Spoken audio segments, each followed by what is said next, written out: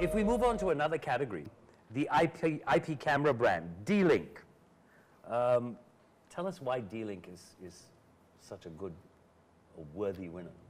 What made them, what made them that good? Well, huge range. They have a yeah, huge range it's of, it's uh, it's cameras. usually it's usually the range that cameras used to be. You know, people buy these to monitor their babies, Right. Or, or sometimes they get it as security. But the thing is, it's always been grainy. Yes, it has, right? always. It's dark. You can't really see anything, and every time people put the footage up and there's something that's happened, you can't really see anything out of it anymore. But sensor technologies have grown uh, much better now. Everything is at least uh, full HD. Uh, You know, it's like a TV. It's sharper. You can see details. They can see in the dark, infrared, and, and all those kind of things. Uh, storage is also better. You used to be able to, you used to have to just plug in an SD card, and those were small as well and expensive. It's now cheap.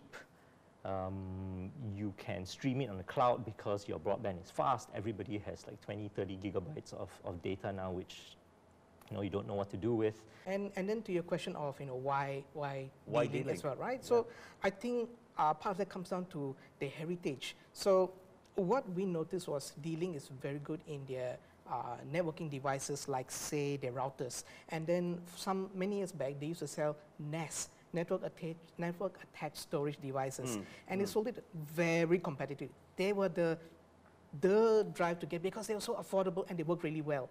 Um, and I think that has resonated with people saying that, you know, they are value for money options.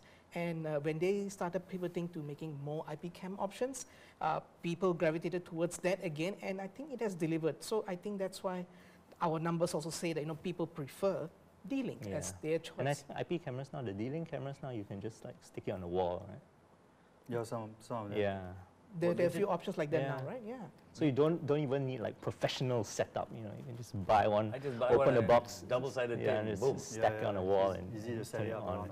Around the home. Yeah. And then Zach, you were saying that there's an external one as well these days. Oh yeah, people people I I, I don't know. I, Singapore's a very safe place. But I, I've, I've left stuff outside that that you know people haven't like stolen overnight. But I guess but I guess um, you find a lot of people now looking for security and, and these like external cameras, they are good because they are also weatherproof.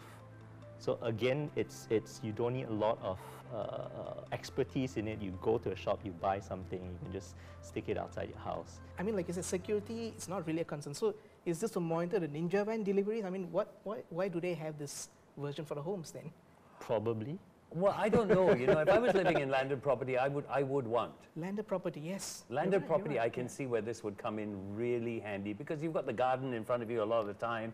You never know what's going on. You want, and it's dark. You want that camera. You want No, that security. But you see, I, I, I think Vijay has a point here because, especially last year, the whole of last year, right, we are so much into deliveries now. Yes. Food delivery, grocery delivery, everything we order, and and sometimes they just don't come. Right? Sometimes they don't appear, and yeah, having a camera outside, it's it's one of those things because you know you have it on your phone, you're, you're wherever you are, yeah. You can see Now whether they actually drop it off outside.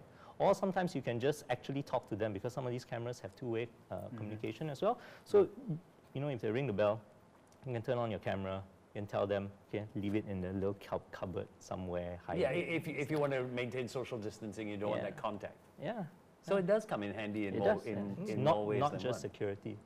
And you can do that remotely as well. Say in your office, right? You can still check up who's If you, there. if you were in your office, but you most likely in your home, you know, in your underwear, and you just don't want to wear pants. Yeah, pants. you don't. go- Yeah, you, you, you, you're in your underwear. Leave it at the door. I'll Yeah. pick it up in a minute and check. Okay, he's left. yeah, I know what you mean. I know what you mean. So we've heard what our gentlemen on our panel have had to say about D-Link. What does D-Link have to say? Hi everyone, I'm Jackie Chen, President of D-Link Southeast Asia. Thank you for voting D-Link a Singapore number one choice for IP camera brand five consecutive years by Huawei Tech Award. Receiving this award is really an honor for us. To all D-Link fans and the supporters, thank you for your support over the years. At the same time, appreciate Huawei to host this tech award and giving us a chance to win the award. D-Link promise to provide you and your family the best product and services to enhance your digital life together. Thank you.